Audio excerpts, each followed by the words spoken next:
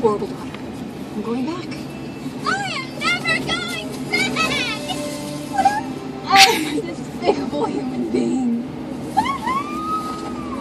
Best day ever!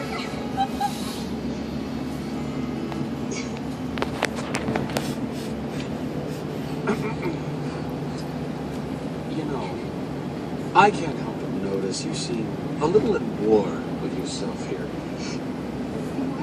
Now, I'm only picking up bits and pieces. Father's overprotective mother, forbidden road trip. I mean, this is serious stuff. But let me ease your conscience. This is part of growing up. A little rebellion, a little adventure, that's good. Healthy, even. You think? I know. You're way overthinking this, trust me. Does your mother deserve it? Would this break her heart and crush her soul? Of course. But you've just got to do it. Break her heart. In half. Crush her soul. Like a grape. She would be heartbroken. You're right. I am. All night. Oh. oh All right. I can't believe I'm saying this, but I'm letting you out of the deal. What? That's right.